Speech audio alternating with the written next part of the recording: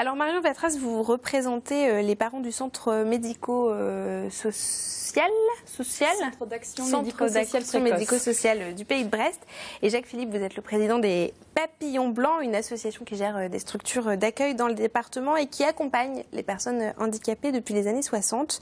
Alors Marion Vatras, vous avez adressé à Marisol Touraine, ministre de la Santé, une lettre qui a dû lui parvenir ce mercredi. Pourquoi avoir choisi d'alerter la ministre? Alors il se trouve que justement, on l'a vu, elle est venue aujourd'hui dans le département, donc on a un petit peu euh, sauté sur l'occasion. On s'est dit, ben, on serait trop bête de ne pas euh, en profiter. Mm. Euh, voilà, donc bah, la lettre, elle est là et elle, elle est, j'espère, entre ses mains maintenant, puisque le député Richard Ferrand s'est engagé à lui remettre aujourd'hui. pourquoi alerter la ministre? Bah Parce qu'on on compte sur elle pour faire quelque chose pour nos enfants, parce que le problème, il est réel et il faut faire quelque chose. Et je pense que bah, s'il y a quelqu'un qui peut faire quelque chose, c'est bien elle. Alors le problème, c'est que euh, nos enfants, donc à la sortie du CAMS, donc à 6 ans, euh, n'ont pas de place, n'ont pas assez de place dans les structures adaptées, que ce soit en IME, donc Institut médico-éducatif, ou d'autres structures qui peuvent les accompagner à l'école. Ils y rentrent à partir de quel âge les enfants dans le CAMS? Alors, euh, en fonction de l'âge où est dépisté leur handicap, ça peut être tout bébé si ça a été diagnostiqué pendant la grossesse ou à la naissance. Ça peut être plus tard, ça peut être de 3 ans euh, voilà, en fonction de, euh, des diagnostics. Il y, a, aussi tout un travail de prévention qui se fait euh, d'ailleurs au CAMS pour cela. Alors on va justement écouter le témoignage de deux mamans du pays de Brest qui pourraient aussi se retrouver sans structure en 2017 lorsque leur enfant aura donc 6 ans. Camille Pochet les a rencontrées. Patricia et sa fille, Héloïse, arrivent au centre d'action médico-sociale de Brest. Héloïse, comme sa copine Laure, a 5 ans. Toutes les deux, elles se rendent trois fois par semaine dans ce centre. Au programme, séances chez l'éducatrice, l'orthophoniste ou encore la psychomotricienne. Les enfants sont accueillis dans le centre jusqu'à leurs 6 ans. Après, ils partent dans d'autres structures spécialisées et surtout adaptées à leur handicap. Mais à Brest, la demande est trop forte. Laure, par exemple, devait partir en institut médico-éducatif à la rentrée 2017, mais sa maman n'est pas certaine qu'elle aura une place. Ce qu'on sait, c'est que cette année, il y a eu des refus qui ont été faits parce que euh, parce qu'il manquait de place et que l'année prochaine, il y aura encore plus de demandes que cette année et que donc il y aura euh, forcément plus de refus si euh, des places ne sont pas créées. C'est contraignant, surtout qu'on a deux autres enfants à côté. Et mon mari est dans la marine, il part parfois quatre mois. Pour nous, l'IME, c'était super. Quoi. Héloïse, comme Laure, seront peut-être privées de structures spécialisées pendant un ou deux ans quand elles devront quitter le centre à la rentrée 2017. Je vais euh, reprendre le travail l'année prochaine. Mon mari est obligé de prendre la suite de mon congé parental pour pouvoir garder encore Héloïse à la maison, sortie du CAMS. Nous n'avons plus accès à des professionnels, sauf dans le libéral. Les listes d'attente sont extrêmement longues, ça peut aller jusqu'à un an d'attente. Donc qu'est-ce qu'on fait d'Héloïse pendant ce temps-là? Si les deux petites filles ne sont plus suivies, elles risquent de régresser. C'est vraiment pas ce qu'on veut, ni pour l'enfant, nous en tant que parents.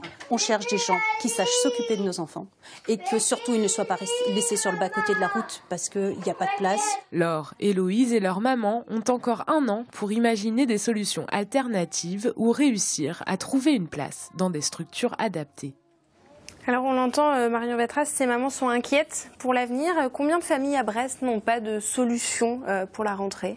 Alors pour la rentrée 2016, c'est-à-dire euh, dans deux mois, quatre familles n'ont pas de place. Donc on fait leur demande, mais n'auront pas de place. Hein. on peut dire ça comme ça parce que c'est voilà, ce sera comme ça. pour la rentrée 2017, il y en aura une quinzaine parce que voilà, les prévisions font que l'année prochaine, bah, il y a beaucoup plus d'enfants qui vont sortir et donc bah, c'est un problème qui va se reporter d'année en année et qui ne euh, concerne pas uniquement les enfants. En fait, c'est vraiment toutes les structures. C'est une pyramide. Mm. Euh, voilà, ça part euh, bah, des personnes vieillissantes et voilà, ça remonte jusqu'à nos enfants à 6 ans.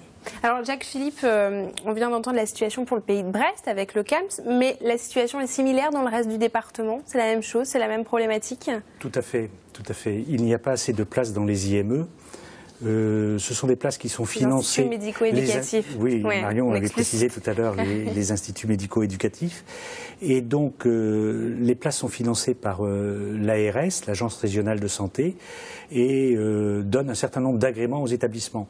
Lorsque l'on atteint ce quota, euh, s'il y a des enfants qui restent à la porte, eh bien, euh, on est obligé de euh, refuser leur admission. Et donc là, il ne se passe plus rien, il se passe plus rien pour eux. C'est aux parents de les prendre en charge, avec le risque que, comme on entendait dans le reportage, tout l'apprentissage s'arrête. Tout à fait, et c'est ce que disaient certains parents, et moi c'est ce qui me fait, qui m'interpelle un peu, c'est que est-ce qu'on va en arriver à la création des papillons blancs il y a une cinquantaine d'années, comme vous le mm. disiez, où Monsieur Garapin, Monsieur et Madame Garapin accueillaient dans leur appartement à Brest en 1962 les enfants qui étaient considérés comme débiles parce que l'éducation nationale refusait de les prendre.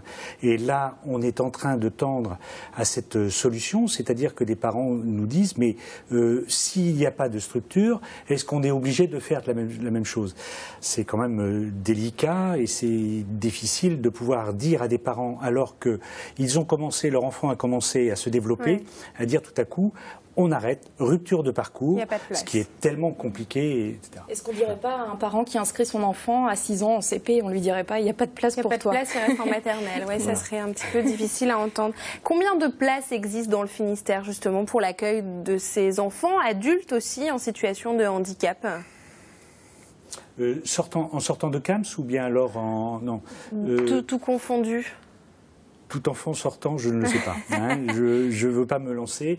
Euh, le, problème, Vous, Papillon Blanc, par exemple, qui gérez des structures, vous accueillez combien d'enfants, d'adultes? 1450 personnes, 1450 personnes accueillies et encadrées par environ 800 professionnels. Le, problème, c'est ce que disait euh, Marion tout à l'heure. Euh, le cette rupture, il ne faut pas qu'elle puisse se produire. Et euh, nous arrivons dans les IME, je voudrais parler d'un problème un peu important, nous arrivons dans les IME avec des jeunes qu'on appelle amendements crotons, qui sont les crotons. C'est-à-dire des jeunes qui ont plus de 20 ans, qui ont une orientation pour aller dans un foyer de vie ou dans un ESAT.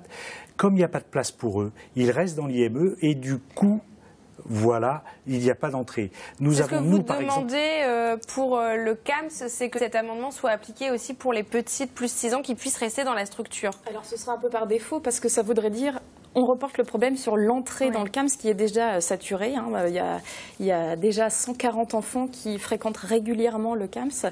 Donc ça voudrait dire bah, les nouveau-nés à qui on propose un accompagnement précoce, et c'est très important pour eux, bah, ils seraient eux-mêmes sur une liste d'attente. Donc finalement, la solution, elle n'est pas forcément là. Euh, il faut vraiment pouvoir créer des structures en bout de chaîne pour les personnes euh, euh, plus âgées, que ça fasse un appel d'air et que ça libère un petit peu. Et puis, de manière plus urgente, trouver une solution pour nos enfants à 6 ans en attendant bah, ce, déblocage. On sait combien de places il faudrait pour le département pour réussir à pallier la situation? Alors actuellement, le département l'a reconnu officiellement. Il y a 450 places de foyers de vie qui ne sont pas honorées. Il y a plus de 1000 places. 450 places. Il y a 1000 places de personnes qui sont en, en inadéquation Hein, ça peut être une manque de place ou bien quelqu'un qui est déjà dans un foyer mais qui, a une autre orientation. Mm. Mais par contre, en place de foyer de vie, il manque 450 places. Il est bien évident que s'il y avait cet appel d'air, euh, la, solution se, se, résorberait d'elle-même. Est-ce que c'est aussi un manque de financement euh, Il y a besoin d'argent? Bien évidemment. C'est le nerf de la guerre. C'est une question de priorité politique avant tout. Hein. Ça, c'est le conseil départemental? Vous faites aussi un appel pour le conseil départemental? Pour les IME, c'est l'agence régionale de santé, c'est mm. ce que je disais tout à l'heure.